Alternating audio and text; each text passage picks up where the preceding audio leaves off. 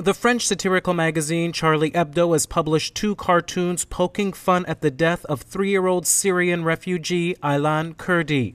The issue is entitled Welcome to Migrants, and one of the cartoons is headlined So Close to Goal Two Children for the Price of One. The other cartoon also depicts a boy drowning. The cartoon sparked outrage on social media.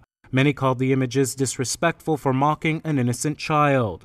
A Twitter user named Ros Stafford said Charlie Hebdo is the absolute scum of the earth. The drawings come nine months after 12 people were murdered by gunmen around the Paris offices of Charlie Hebdo. The magazine is known for mocking politicians and religious leaders.